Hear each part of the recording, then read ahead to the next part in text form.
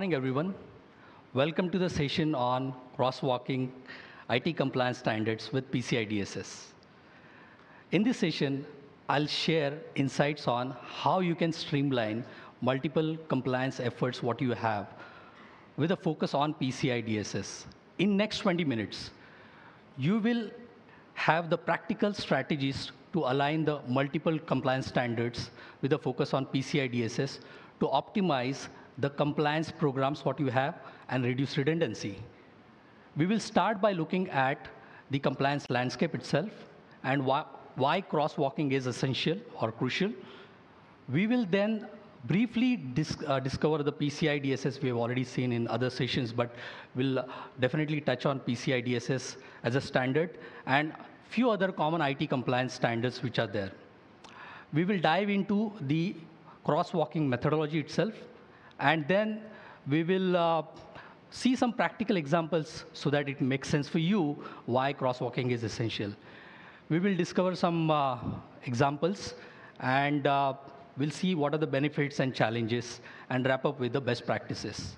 By the end of this session, you will have the complete insight about why and how you can actually optimize the compliance efforts. Brief about the company. Organizations of all sizes, they rely on ControlCase's, uh, the certification and continuous compliance services, what we offer.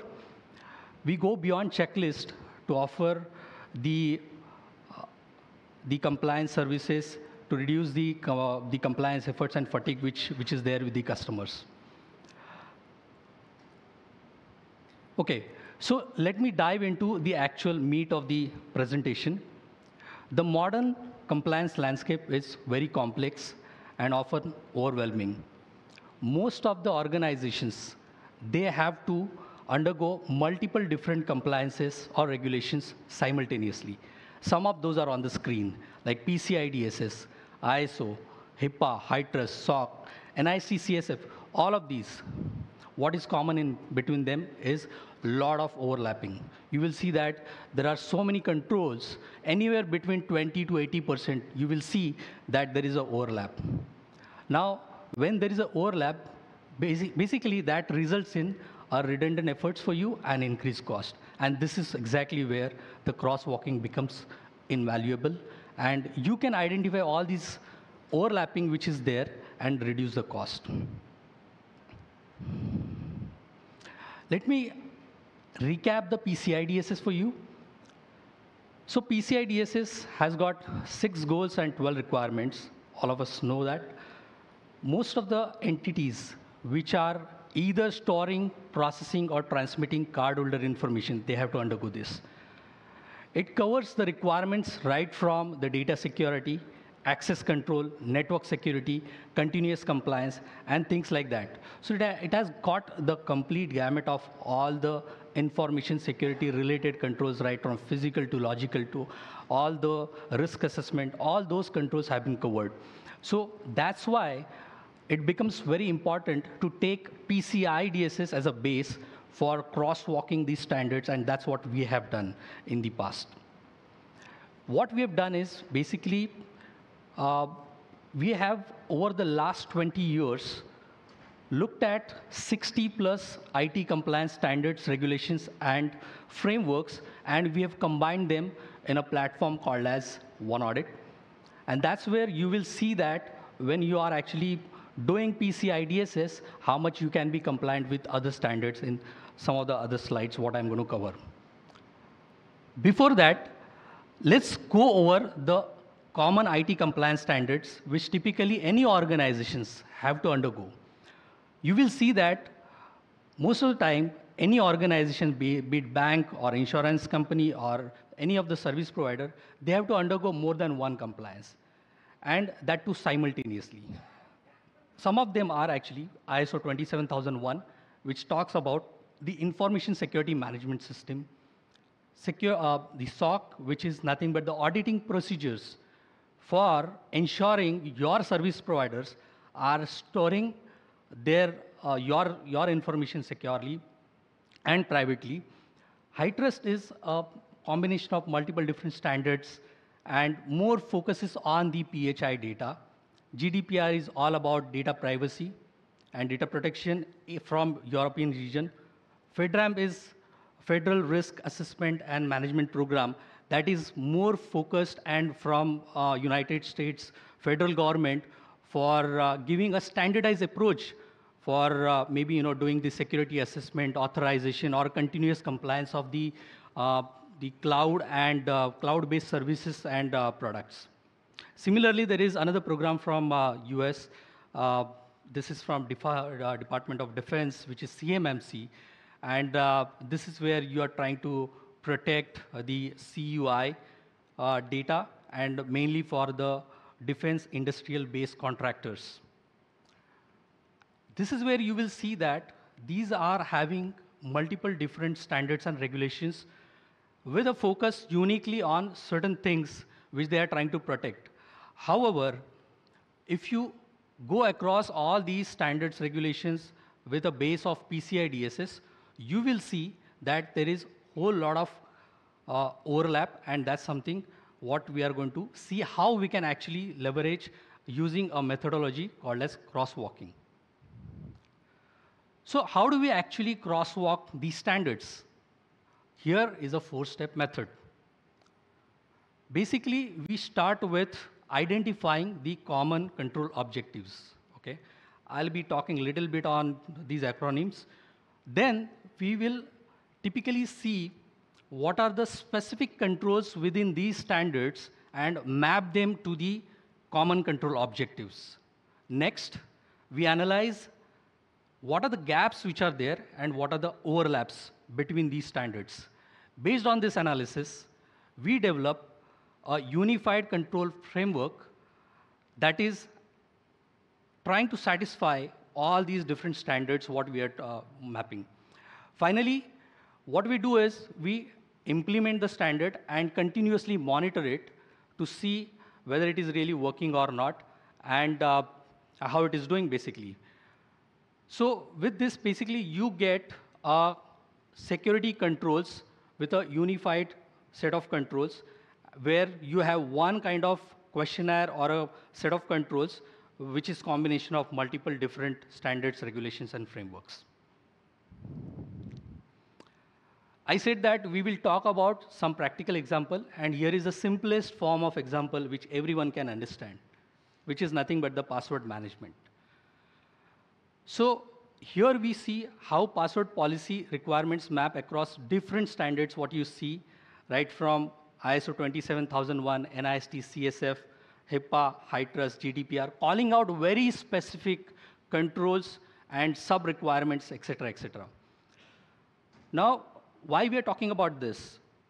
We are taking PCI DSS as a foundation, and that is where you will see that PCI DSS requirement 8.3.6 very specifically talk, talk, talks about you must have passphrases or uh, passwords that are used for authentication as a factors to meet the requirement of password policy and it very specifically talks about you need to have 12 character as your pa password and it should contain both numeric as well as alphabets. Now when you go across the standards like ISO and NIST CSF, you will see that these are in some shape or form getting covered. And this is how you will have a robust password policy or password management controls implemented if you start with PCI DSS as a base. Now let's uh, look at the power of real crosswalking method after implementation. Here what you see is there are about 39, 40 graphs what you are seeing on the screen. However, these are uh, total, if you put together, uh, 80 plus or so. This is exactly where what we have done is we have taken PCI DSS as a base and we have cross-mapped all these different standards under ISO, SOC, HIPAA, HITRUST, NIST, and so, uh, so many other specific to country and all other uh, frameworks. What you see is there is anywhere between 20 to 80% of control overlap. It is complicated and time consuming to have such mapping, but using crosswalking as the method, you can map them in an effective way. As I said, the base which is used here is PCI DSS. All right.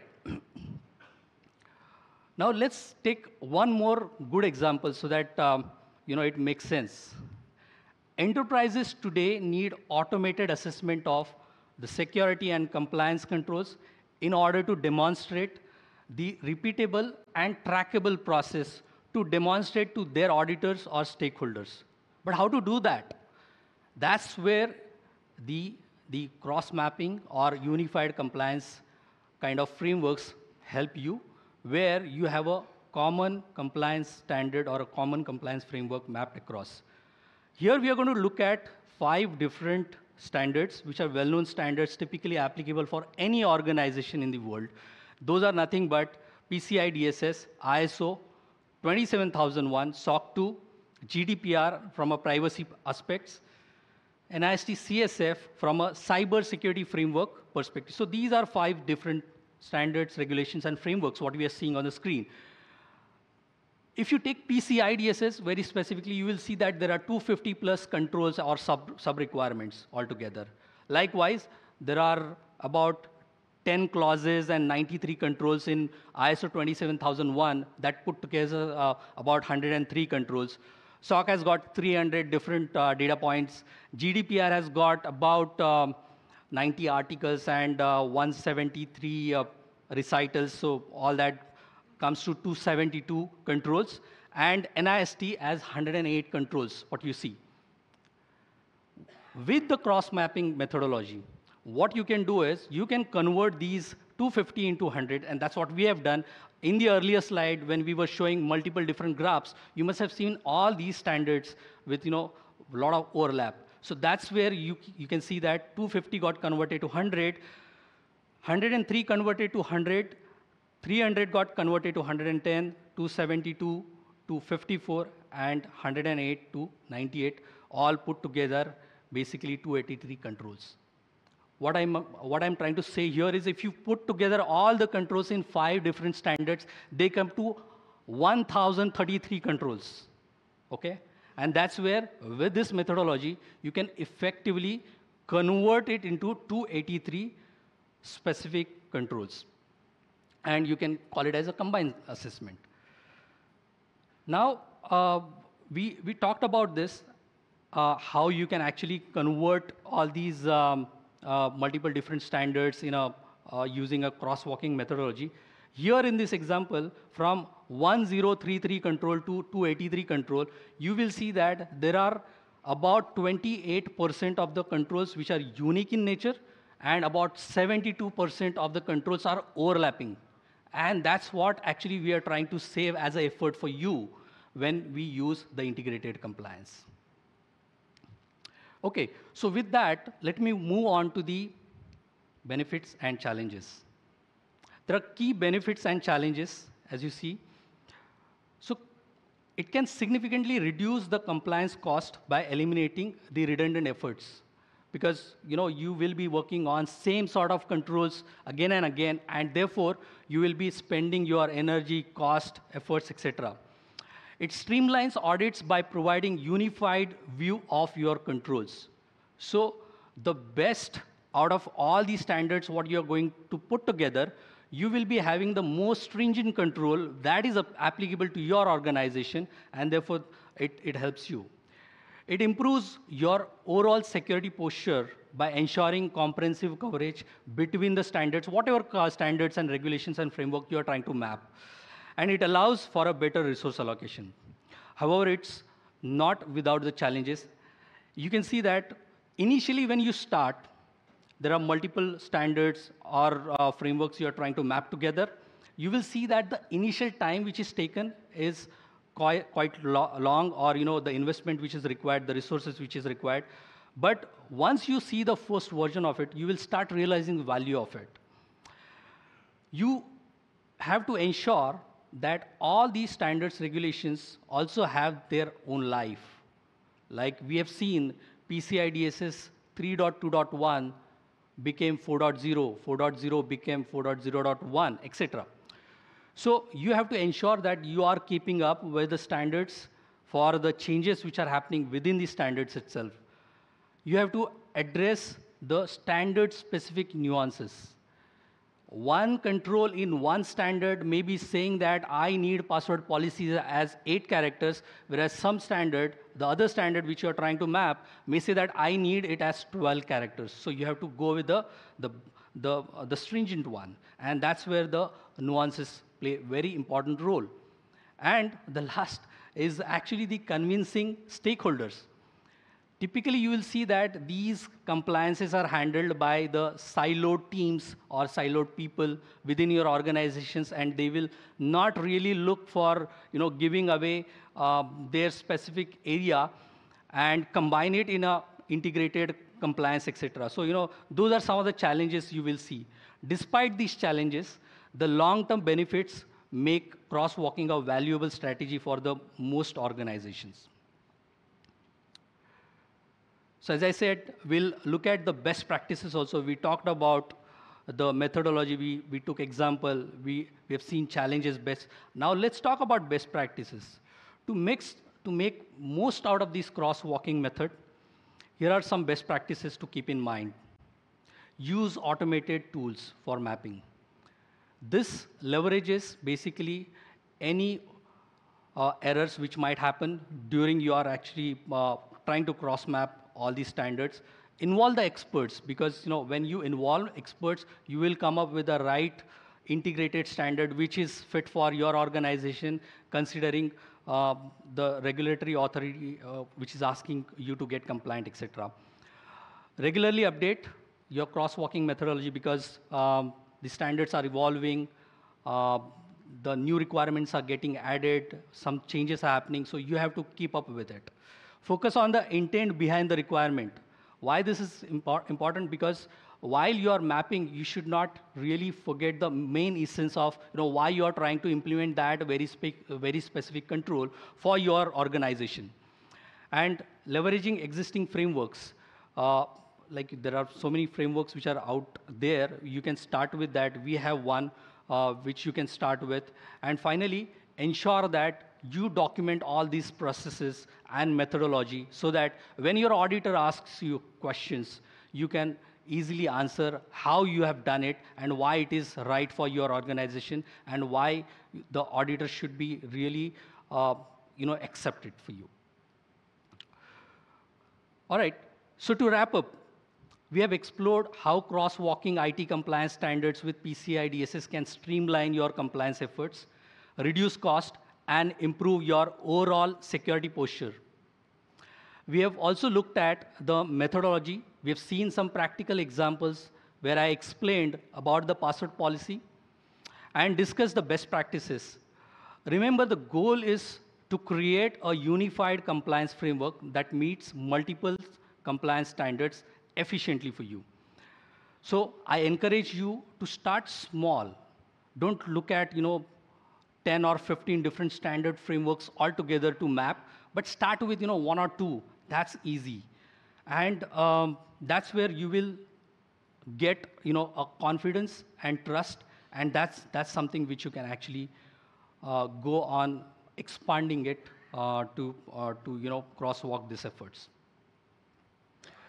So that's all I have. Uh, thank you for uh, your patience and listening me. If you have any questions with uh, the, the crosswalking methodology, what we have done at ControlCase, uh, we are available at our booth, uh, ControlCase booth. And I'll stop here. Thank you for your listening.